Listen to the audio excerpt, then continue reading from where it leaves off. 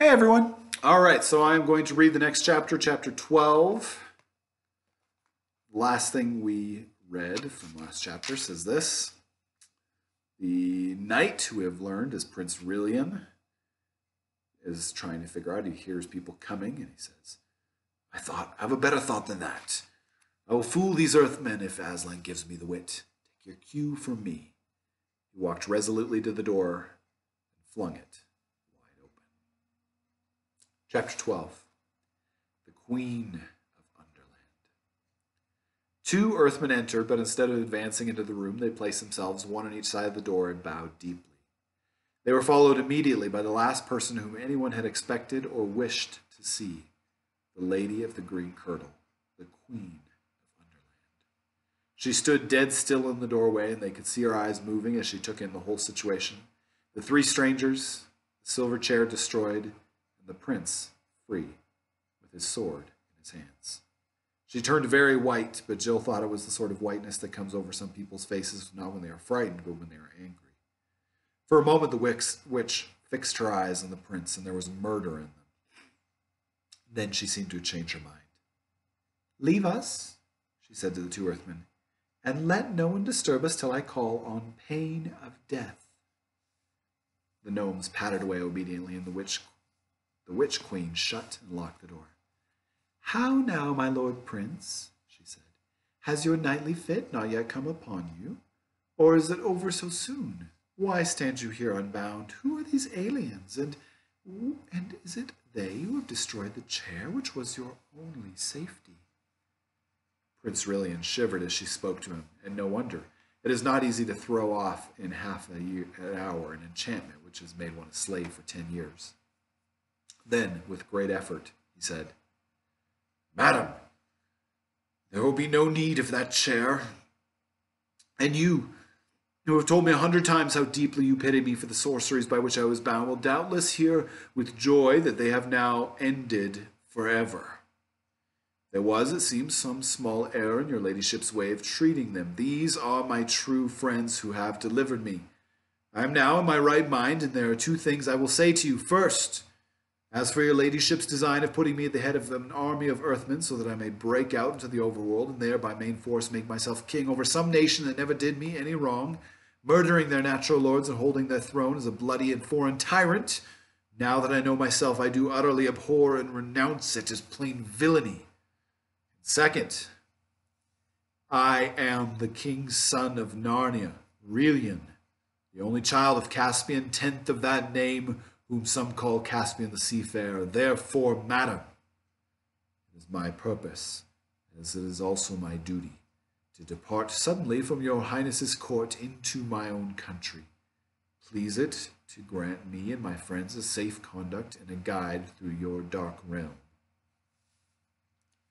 Now the witch said nothing at all, but moved gently across the room, always keeping her face and eyes very steadily upon the prince. And when she had come to a little ark set in the wall not far from the fireplace, she opened it and took out the first handful of a green powder. This she threw on the fire. It did not blaze much, but a very sweet and drowsy smell came from it. And all through the conversation which followed, that smell grew stronger and filled the room and made it harder to think. Secondly, she took out a musical instrument rather like a mandolin, and she began to play it with her fingers, a steady, monotonous thrumming that if you didn't notice after a few minutes, but the less you noticed it, the more it got into your brain and your blood. This also made it hard to think. After she had thrummed for a time, and a sweet smell was now strong, she began speaking in a sweet, quiet voice. Narnia, she said.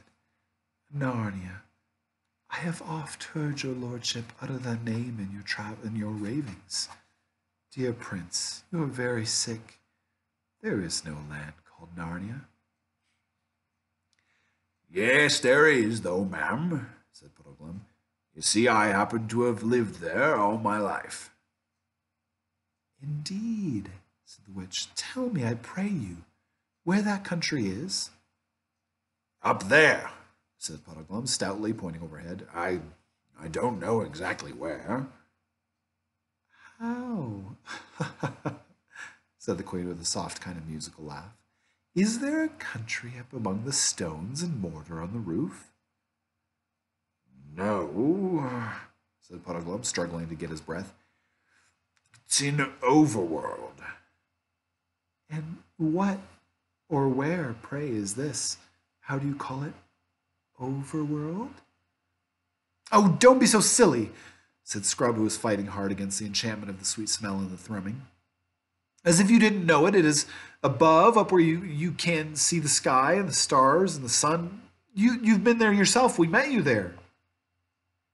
I cry you mercy, little brother, laughed the witch. You couldn't have heard a lovelier laugh, which is why I'm not going to try to do it. I have no memory of this place, but often we meet our friends in strange places when we dream, and unless all dreamed alike, you must not ask them to remember it. Madam, said the prince sternly, I have already told your grace that I am the king's son of Narnia. And shall be, dear friend, said the witch in a soothing voice, as if she were humoring a child. You shall be king of many imagined lands in thy fancies. We've been there too, snapped Jill. She was getting very angry because she could feel enchantment getting a hold of her every moment. But of course, this very fact that she could feel it showed that it had not yet fully worked. And thou art queen of Narnia too, I doubt not, pretty one, said the queen in a half coaxing, half mocking tone. I'm nothing of the sort, said Jill, stamping her feet. We come from another world. Why, this is a prettier game than the other, said the witch. Tell us, little maid, where is this other world? What ships and chariots go between it and ours? Of course, a lot of things darted into Jill's head at once. Experiment House, Adela Pennyfeather, her own home, radio sets, cinemas, cars, airplanes, ration books, queues, but they seemed dim and far away. Thrum, thrum, thrum, with the strings on the witch's instrument and Jill couldn't remember the names of the things in our world, and this time it didn't come into her head that she was being enchanted. For now the magic one is in its full strength, and of course the more enchanted you get, the more you feel that you are not enchanted at all. She found herself saying, and at the moment it was a relief to say, No, I, I suppose that other world must be all a dream. Yes, it is all a dream, said the witch, always thrumming. There never was such a world, said the witch. No, said Jill and Scrub. Never was such a world. There never was any world but mine, said the witch. There never was any world but yours, said they. Puddleglum was still fighting hard. I don't know rightly what you mean by a world, he said, talking like a man who hasn't had enough air. But you can't play, you can play that fiddle till your fingers drop off, and still you won't make me forget Narnia and the whole Overlander, too. We may never see it again, I shouldn't wonder. You may have blotted it out and turned it dark like this, for all I know. Nothing is more likely, but I know that there I was there once I've seen the sky full of stars. I've seen the sun coming up out of the sea of the morning and sinking beyond the mountains at night. And I've seen him in the midday sky when I couldn't look at him for brightness. Puddleglum's words had a very rousing effect. The other three all breathed again and looked at one another like people newly awakened. Why, there it is, cried the prince. Of course. The blessing of Aslan upon this honest marshwiggle. We have all been dreaming these last few minutes. How could we have forgotten it? Of course. We've all seen the sun.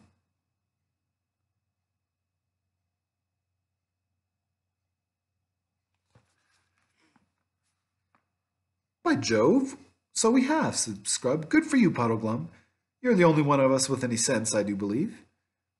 Then came the witch's voice, cooing softly the voice of a wood pigeon from the high elms of an old garden at three o'clock in the middle of a sleepy summer afternoon, and she said, What is this sun that you all speak of? Do you mean anything by the word? Yes, we jolly do well do, said Scrub. Can you tell me what it's like? said the witch, thrum, thrum, thrum, went the strings. Please your grace, said the prince very coldly and politely. You see that lamp, it is round and yellow, and gives light to the whole room, and hangeth moreover from the roof. Now that thing which we call the sun is like the lamp, only far, far greater and brighter. It gives light to the whole overworld, and it hangeth from the sky. Hangeth from what, my lord? asked the witch. And then, when they were all still thinking how to answer, she added with another one of her soft, silvery laughs, You see, when you try to think out clearly what this sun must be, you cannot tell me. You can only tell me it is like the lamp. Your sun is a dream, and there is nothing in that dream that was not copied from the lamp. The lamp is the real thing. The sun is but a tale, a, chi- a children's story. Yes, I, I see now, said Jill in a heavy, hopeless tone. It must be so. And when, while she said this, it seemed to her to be very good sense. Slowly and gravely, the witch repeated, There is no sun. And then they all and they all said nothing. She repeated in a softer and deeper voice, There is no sun. After a pause and after a struggle in their minds, all four of them said together, You're right. There is no sun. It was such a relief to give in and say it. There never was a sun, said the witch. No, there never was a sun, said the prince and the marshwiggle and the children. And for the last few minutes, Jill had been feeling that there was something she must remember at all costs, and now she did. But it was dreadfully hard to say it. She felt as if the huge weights were laid on her lips, and at last, with great effort that seemed to take all, all the good out of her, she said, There's Aslan. Aslan, said the witch, quickening ever so slightly the pace of her thrumming. What a pretty name. What does it mean? He he is the great lion who, who called us out of our own world, said Scrub, and, and set us to find Prince Rilian. What is a lion? No, hang it all, said Scrub. Don't you know? How can we describe it to her? Have you ever seen a cat? Surely, said the witch. I love cats. Well, a lion is a little bit, only a little bit, mind you, like a huge cat with a mane. At least, I mean, it's not like a horse's mane, you know. It's more like a judge's wig, and it's it is yellow and it's ter- terrifically strong. The witch shook her head. I see that we should do no better with your lion, as you call it, than we did with your sun. You have seen lamps, and so you imagined a bigger and better lamp and called it the sun. You've seen cats, and now you want a bigger and better cat, and it's to be called a lion. Well, 'tis a pretty make believe, though, to say truth. It would suit you all better if you were younger. And look how you can put nothing into your make believe world without it from the real world, this world of mine, which is the only world. But even you children are too old for such play.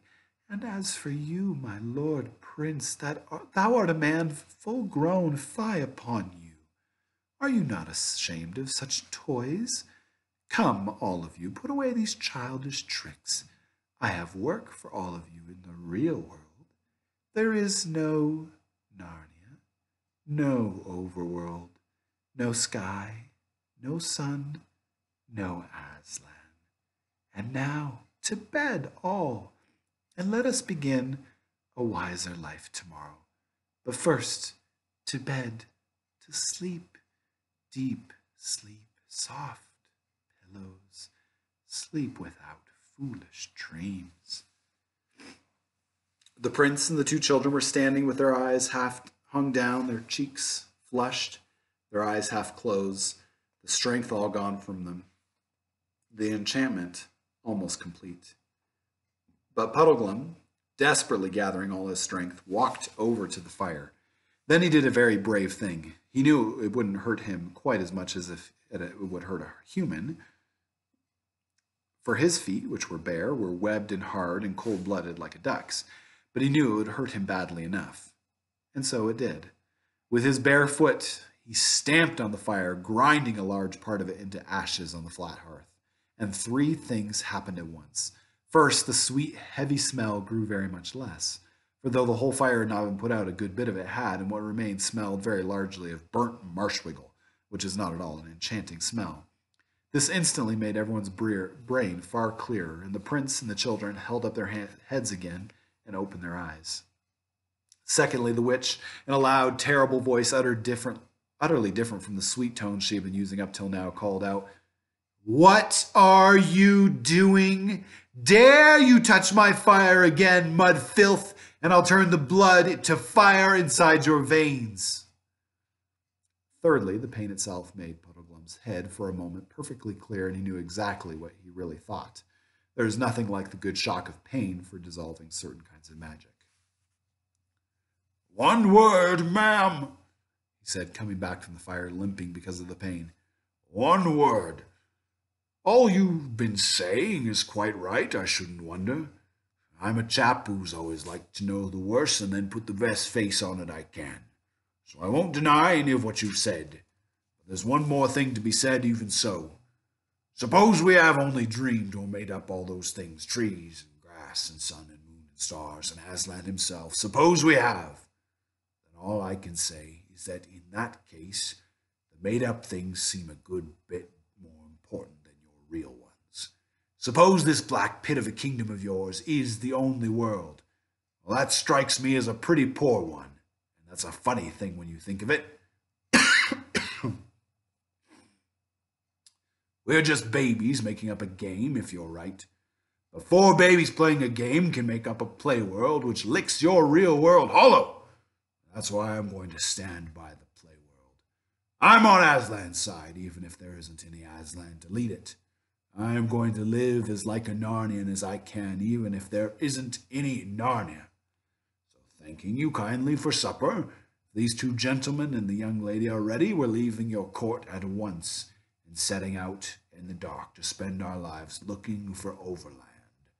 Not that our lives will be very long, I should think but that's small loss if the world's as dull a place as you say. Oh, hooray, good old Puddleglum! cried Joe, but the prince suddenly shouted, Beware, look at the witch! And when they did, their hair nearly stood on end. The instrument dropped from her hands. Her arms appeared to be fastened to her side. Her legs were intertwined with each other, and her feet had started to disappear.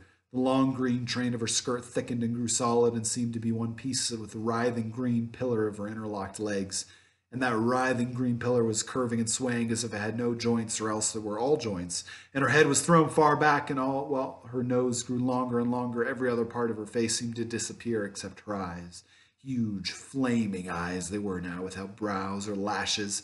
And all this takes all this takes time to write down. It happened so quickly that there was only just time to see it. Long before there was time to do anything, the change was complete, and the great serpent with which the witch had become, green as poison, thick as Jill's waist, had flung two or three coils of its loathsome body round the prince's leg. Quick as lightning, another great loop darted around, intending to pinion his sword to his side, but the prince was just in time. He raised his arms and got them clear, and the living knot only drew round his chest, ready to crack his ribs like firewood when it drew tight. The prince, caught the creature's neck in his left hand, trying to squeeze it till it choked.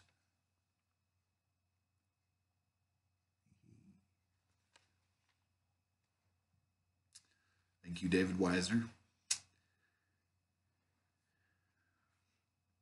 The prince got the creature's neck in his left hand, trying to squeeze it till it choked. This held his face, if you could call it a face, about five inches from his own. The forked tongue flickered horribly in and out, but it could not reach him. With his right hand, he drew back his sword the strongest blow he could give. Meanwhile, Scrub and Puddleglum had drawn their weapons and rushed to his aid, and all three blows fell at once Scrub's, which did not even pierce the scales and did no good, on the body of the snake below the prince's hand, but the prince's own blow and Puddleglum's both below on its neck.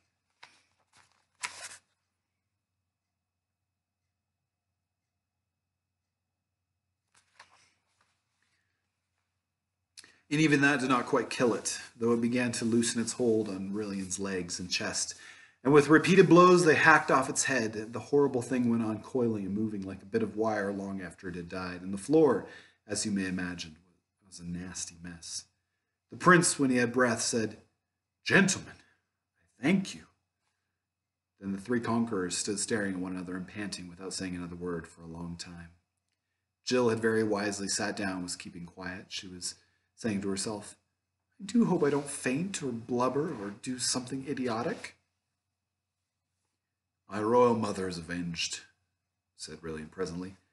This is undoubtedly the same worm that I pursued in vain by the fountain in the forest of Narnia so many years ago. All these years I had been the slave of my mother's slayer. Yet I am glad, gentlemen, that the foul witch took her serpent form at the last.